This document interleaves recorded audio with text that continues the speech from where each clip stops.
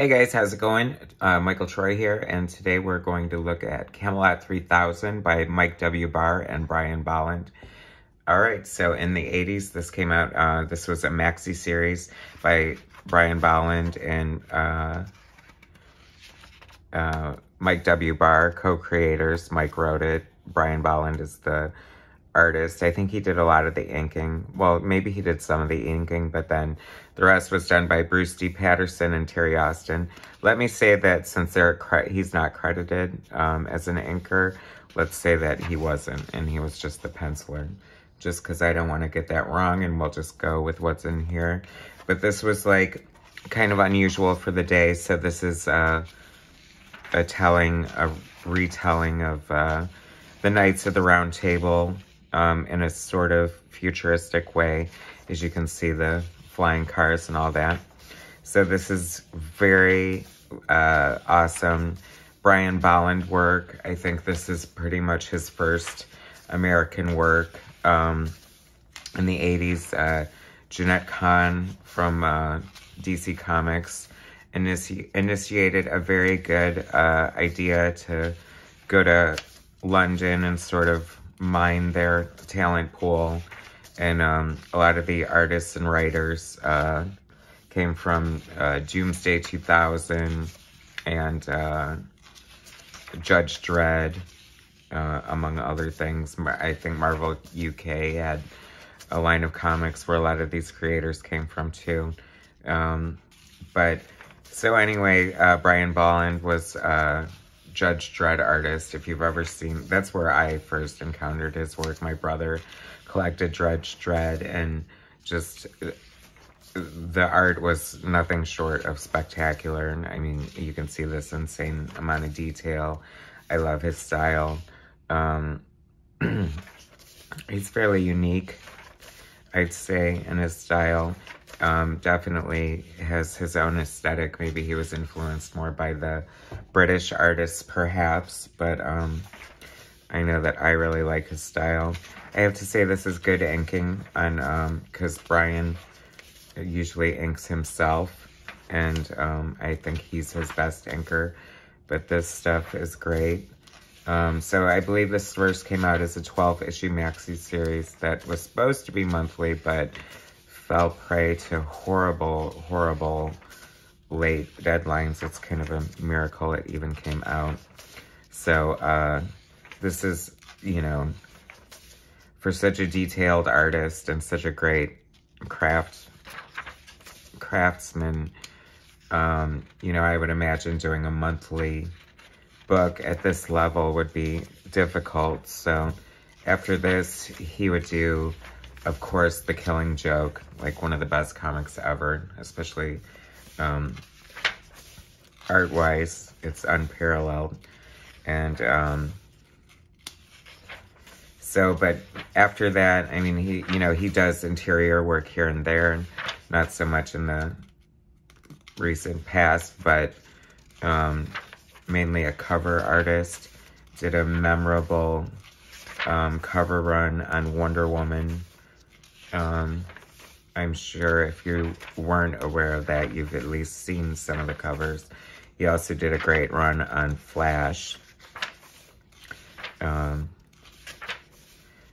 and now, like Dave Gibbons, another um, English export, uh, he only works digitally. So you will no longer be able to purchase original boards of Brian Bolland art, which is a shame, but it's amazing to me that he can um, maintain the same level of detail. I don't know, I find digital inking, I guess I'm getting better at it, but at first it was very intimidating, very slippery, for lack of a better word. But um, there's ways around that, and you get used to it. But um, you know, it's funny because uh, I can tell the difference between the Bruce Patterson inking and the Terry Austin inking. I mean, this screams Terry Austin right here with the, the hatching especially. The Hatchmaster, Terry Austin, and his lines are always a little bit shorter somehow. You know what I'm saying? Don't make me say it. But, I mean, this is one gorgeous book, epic in scope. And I just love that this came out from, like, regular DC, you know. They were kind of innovative in the 80s. Marvel was definitely, I feel, giving them a run for their money. And they wanted to sort of up the ante. And they came up with a lot of great books. Um, you know, the writer of this book, Mike W. Barr, you know, uh, wrote a lot of Batman and Batman and the Outsiders spun out of that. And I was a big Batman and the Outsiders fan, so I'm a fan of his writing. And this art's a lot of fun. I wish uh, the printing were, I wish, I don't know if they've ever done a more recent trade than this, but it'd be kind of nice to see it on some slightly better paper. A little bit better production value. You can just see all the insane detail and just, you know, he's such a great storyteller and he really just puts his all into his work. And um, great looking King Arthur and, you know, it's always fun to see the, the greats revisited or redone in a way that is uh, acceptable to the source material. I mean, let's face it, there's been a lot of uh, bastardizations of uh, really great classic stories. I don't know what's going on here with that, but I guess it's gonna ruin the value of this trade, but oh well.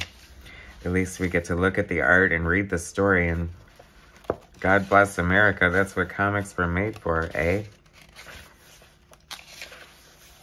So, oh wow, that's really cool. I would, I mean, I would love to own an original page from this work. I want to say this is Terry Austin, but he probably came in more towards the end. Maybe uh, Bruce Patterson had to pick up other jobs waiting for the pencils to come in or something. Hey, that's all speculation, but I can very much tell this is uh, Terry Austin's inking. I love that I have these gorgeous pencils and I'm going on about the inking, but it's such a crucial, imperative part to the comic book art process. Um, great inking goes hand in hand with great classic comic book art. It's just as important as any other aspect, especially when it comes to the art.